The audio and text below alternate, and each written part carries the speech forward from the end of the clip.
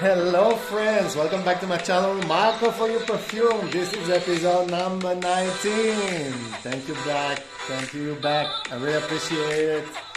So, today we're going to talk about 1881 by Cerruti. Don't forget to subscribe, to like, tap the bell so you'll be informed every time there's a new release. And of course, share. Okay, so on this episode 19, today we're going to review, in my opinion, a beautiful fougere. You know how I like my fougere. EDT concentration, Nino Cerruti 1881. I really like it. I really like it. And at the end of the video, we're going to compare it with a more expensive perfume that I discovered recent, recently. So be patient and you will be uh, satisfied. Watch it until the end, please. Please, again, after you subscribe, like and comment and tap the bell, don't forget to write comment. It's very important. So I remind you that Nino Cerruti is a designer perfume, okay, located in France. Once it was in Italy, okay. Uh, you have this brand have a few good perfume, both for men and women in general, for very attractive price, okay. So this company designer perfume uh, was created in 1967 and moved to Paris. It was created uh, in Italy. Okay, the name was given 1881 after the grandfather founded his textile company in Italy. So as you see, this quality bottle that I purchased online for only 25 euros, which is around 30 dollars. Okay, it's frosted, it's cloudy, it's 3D printed I really like it. I really like it. It's quite light. The cup is a little bit light, also plasticky, but I don't care. The juice, we're gonna talk about the juice today, okay? So, uh, it's a classical bottle. It have a vintage feel. Of course, it was created in the 90s, to be precise, 1990. The atomizer is very good, as you see.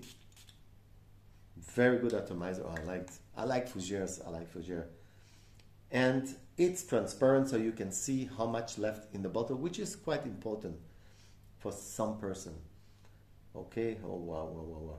It was reformulated a few times, and especially this one, but I don't see a major difference except maybe the longevity because uh, the original was with oak moss, and as you as you know, oak moss is a little bit forbidden those days because something like less or two percent of the population got skin reaction to it, so it's understandable.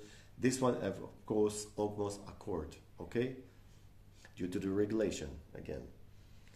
Yeah, it's much more modern, also wearable version, less in your face like many reformulation. The perfumer behind it is Martin Gras. The perfumer is Martin Gras, quite a famous one. Uh, the category or genre of this one is a very fresh aromatic fougere as I like them, you know. The note in the opening you got bergamot, of course, lavender, a little bit bitter uh, citrus, chypre, a little bit bitter, not so much. Note, uh, carnation, and a very sweet uh, juniper. Yeah, that's the, the scent and the note that I felt now. Uh, sweet juniper, not too much, a little bit. It's not really a sweet one, this one. Galbanum, elemi, and resin. In the middle note, you got floral note like um, ylang ylang, lily of the valley, rose, and then you have also cassia and vetiver. And on the base note, or what you got on the dry down, you got, of course, pepper, like I like, pine tree, oak moss, accord, patchouli, cedar, and musk. And even sandalwood make the backbone of this fragrance. I enjoy the opening, but I really also enjoy the dry down. 80, 81. It's perfect for me what it remind me of? Uh, it remind me of Boucheron pour Homme that I discovered recently. I didn't knew this this one. Uh, I was in a perfumery and suddenly I just sniff a few perfume and Boucheron pour Homme, I I sniff it and sniff it and I, and I think it reminds me something. And this one I, I every two year I order this one. So and then it's suddenly my my coin fall and I say, oh yeah, that's it. It's identical. 85% identical, something like that. Even maybe 90%. Okay? Oh, it's perfect. It's fresh. I really like this freshness. Not all of Fougère are well rounded. Somehow I knew a few brands that make it more bitter and aggressive. This one has a good balance.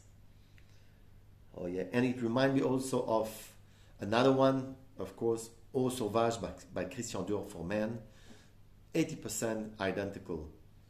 And for this aromatic fougere to, to last at least five to six hours, you need seven sprays. Five on your body, two on your shirt. Okay? So the projection here is a little bit medium, around an hour, not more. The sillage is very soft, mildly, if we can see. The note I will give on 1881 by Cerruti EDT is 7 out of 10 for its gorgeous scent, for its refreshing scent, for its barbershop type, not in a bad way, scent. It's elegant, sophisticated, and also because it's an all season, you can wear this on all season. All occasion, all occasion, you can wear it for everything and for all ages, the demography, all ages. If you're younger than 30, just be light on the trigger, like four or five. It will last a little bit less, but then it will be more less in your face. But it's not really aggressive, this one, okay? So it is seductive also, energetic. Every time I wear it, I feel punchy. I feel I'm start my day with this one. I go out of the shower and spray it directly. This is my type of fougere that I like. I really like it.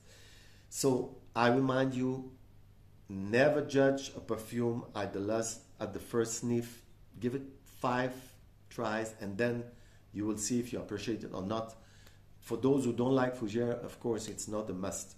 So the note again, seven out of ten. So should you buy it? Should you consider it, or should you avoid it? I think if you like Fougère, you should go buy it, especially for those kind of price 25 euros, $30 US. Come on, it's a bargain.